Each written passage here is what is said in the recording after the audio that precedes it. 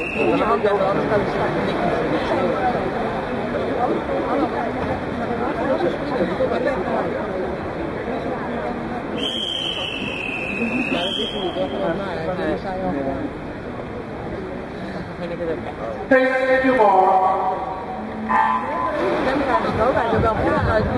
keer hier Bastiaan Leijsen, dus eh, WK Brons en WK Zilver.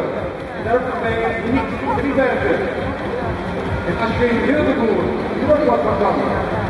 Bosja Leijsen, de Nederlandse recordhouder. Goed opsluit in die laatste meters. Aan Wijk Lagoer, aan Vier Leijsen. Dat de tijden. En dan kijken wij.